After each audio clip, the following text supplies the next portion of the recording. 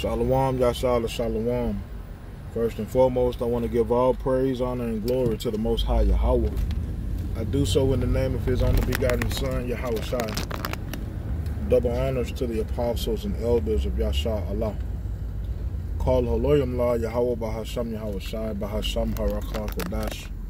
Blessing our elders with the spirit of truth so that we may know. Shout out to the Akim and the Akwaf that's keeping the faith and the work. Shall keep at it. It's your brother Abaya coming at you with more quoted precepts. Scripture tells us the fervent prayer of a righteous man availeth much. I say roughly paraphrasing. But prayer works, right? And, and it works for the righteous. Right? The righteous are the individuals, you know, that are trying to do what thus said the Lord. Even though Yahweh tells us that our righteousness is as filthy rags, still we put forth the concerted effort to, you know, be good in the eyes of the Lord and be right in the eyes of the Lord. You know, um, that's all we can do, and do doing doing it all through faith. Right? Uh, scripture tells us, uh, "He that turneth away his ear from hearing the law, even his prayer shall be an abomination."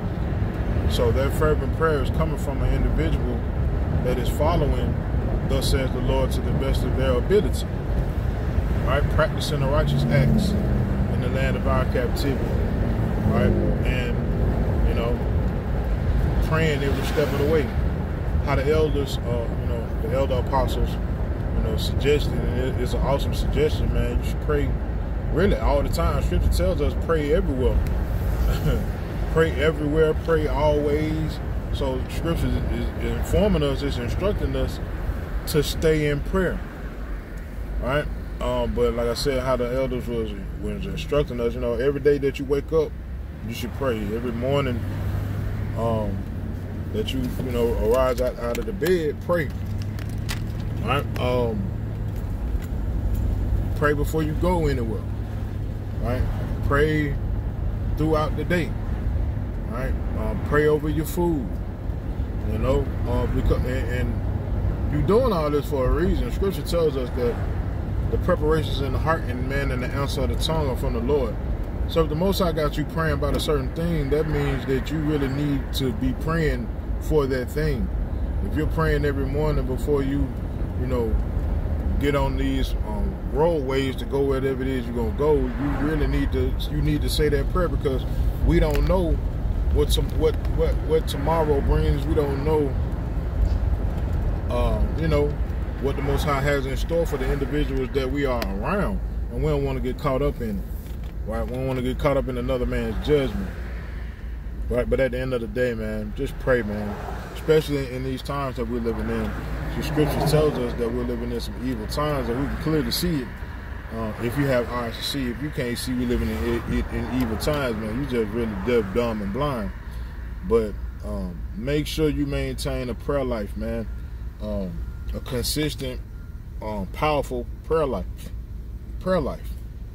That's our connection to the Father. You know, He He's allowing us to speak to Him again, and uh, He's allowing us to be heard. So, so all we got to do is just follow suit with uh, what Yahawashi, you know, did and told us to do.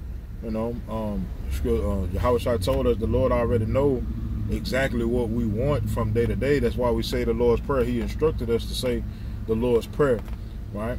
But um, that's not to say that every time you should you send a prayer up, that's what is that's what's being spoken, right? You should pray the Lord's prayer every day, but you know throughout the day, ask for what you want. Scripture Scripture also says you have not because you ask not, right? So ask for what you want, man, and and you know if you're doing it in a truly sincere heart, the Most High hear you and He'll make a way for you to get the things that you need, right? Um, so that's really all I had to say, man. I guess that's all the spirit, you know, is putting on me to speak on. Make sure you stay prayed up, Yasharahla, because we living in some real dangerous times, man. Um, I mean, like some re- extremely dangerous times. You know, um, this place has never been as divided as it is now. Um, the only thing it's missing is an actual physical, you know, altercation to solidify the division meaning a civil war. right? So, but the Most High said this on the way.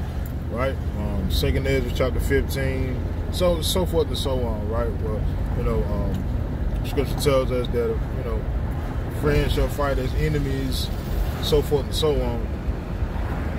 But these are the times that we need to be praying, right? These are the times that we need to be prayed up, right? Pray always, right? Pray everywhere, right? Stay prayed up, Yasharahla.